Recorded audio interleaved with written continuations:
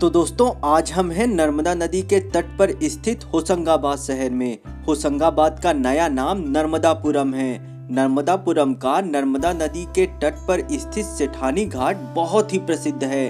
सेठानी घाट के प्रसिद्ध होने का कारण घाट का पक्का होना, नहाने में सुविधा, पूजन, हवन और विशेष अनुष्ठान की भी सुविधा होना इस सेठानी घाट की लोकप्रियता को और बढ़ाता है। इस सेठानी घाट के किनारे कई प्रसिद्ध मंदिर भी हैं। इस कारण यह घाट स्नान ध्यान के लिए सबसे अच्छा माना जाता है।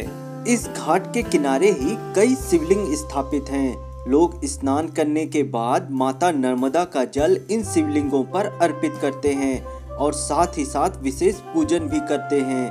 पूजन करवाने के लिए पंडित नर्मदा नदी के इस घाट पर बैठे रहते हैं, जो नर्मदा पूजन, शिव पूजन ग्रह दोष वास्तु दोष पितृदोष आदि का पूजन करवाते हैं और नर्मदा माता से प्रार्थना करते हैं कि भक्त के जीवन में सुख समृद्धि बनी रहे।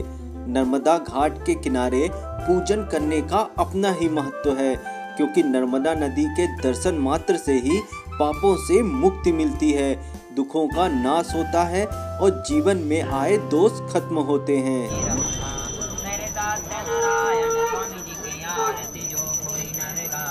स्वामी जो जन नित गावे कहत शिवानंद स्वामी जपत सावन के महीने में तो इस घाट पर हज़ारों की संख्या में लोग स्नान, ध्यान और पूजन करवाते हैं। कांवड़ दूर दूर से नर्मदा नदी के जल को अपने मटके में भरकर शिव धाम को जाते हैं। कई कांवड़ तो होशंगाबाद से उज्जैन, नर्मदा जल लेकर महाकाल को अर्पित करते हैं। इस तरह सेठानी घाट से भक्त नर्मदा जल लेकर अपनी श्रद्धा अनुसार शिव धाम को जाते हैं नर्मदा नदी का सनातन धर्म में विशेष स्थान है कहा जाता है कि माँ नर्मदा देवों के देव महादेव की पुत्री हैं।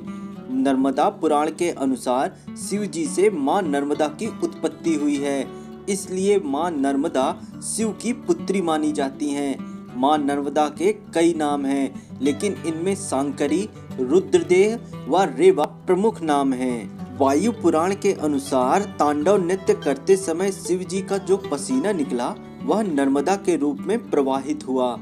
वहीं स्कंद पुराण के अनुसार शिव जी की तपस्या के दौरान निकले पसीने की एक बूंद से माँ नर्मदा की उत्पत्ति हुई है। माँ नर्मदा की उत्पत्ति माघ शुक्ल की सप्तमी को हुई थी। इसलिए नर्मदा जयंती इस दिन मनाई जाती है। होशंगाबाद में अब नर्मदा जयंती एक महोत्सव के रूप में मनाई जाती है। नर्मदा पुराण के अनुसार माता गंगा के स्नान करने से जो फल मनुष्य को प्राप्त होता है, वो माँ नर्मदा के दर्शन मात्र से मिल जाता है। नर्मदा नदी सबसे पवित्र नदी मानी जाती है। नर्मदा नदी का हर कंकर शंकर कहलाता है। कहा जाता है कि जब नर्मदा नदी की उत्पत्ति हुई, तब माँ नर्मदा का आवेग इतना अधिक था कि कोई पर्वत उसके आवेग को नहीं सहन कर पा रहा था। तब विंध्य पुत्र मेकल ने आवेग को अपने ऊपर धारण किया। इसलिए माँ नर्मदा का नाम मेकल सुता भी है। सभी नदियों में सिर्फ़ नर्मदा ही एक ऐसी नदी है, जिसकी परिक्रमा की जाती है।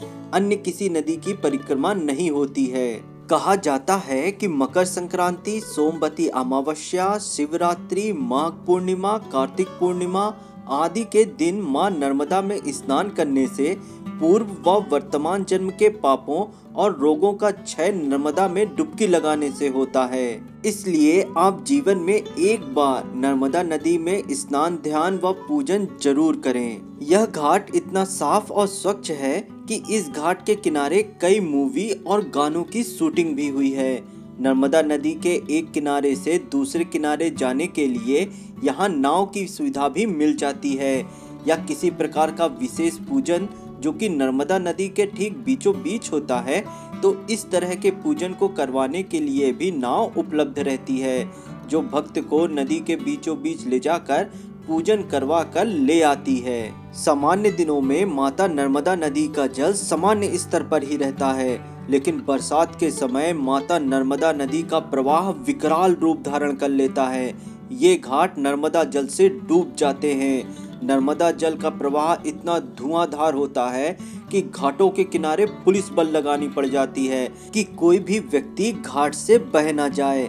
कई बार अधिक बारिश होने के कारण नर्मदा जल प्रवाह इतना अधिक हो गया था कि होशंगाबाद शहर में नर्मदा जल आ गया था।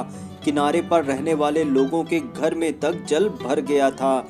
माता नर्मदा नदी के इस विकराल क्रोध को शांत कराने के लिए यहाँ कई अनुष्ठान और यज्ञ करवाए गए थे। तब जाके माता नर्मदा का क्रोध शांत हुआ और जल स्तर कम हुआ। नर्मदापुरम स्थित सेठानी घाट भोपाल से लगभग 80 किलोमीटर दूरी पर है। नर्मदापुरम खुद एक रेलवे स्टेशन है, जहाँ से यह सेठानी घाट एक दशमलव पाँच किलोमीटर दूरी पर है। वैसे तो नर्मदापुरम में कई घाट स्नान करने हेतु हैं, जो कि अलग अलग स्थानों पर हैं। पर यह सेठानी घाट उन प्रमुख घाटों में से एक है, जहाँ सुरक्षा के लिए पुलिसकर्मी और आपातकाल का ऑफ़िस भी घाट पर ही स्थित है। आप यहाँ बाइक, कार या टैक्सी से आसानी से पहुँच भी सकते हैं। भोजन हेतु यहाँ आपको उचित सुविधा भी मिल जाएगी। तो दोस्तों यदि वीडियो पसंद आया हो तो प्लीज़ वीडियो को लाइक करें कमेंट करें शेयर करें और हमारे चैनल को सब्सक्राइब करना ना भूलें।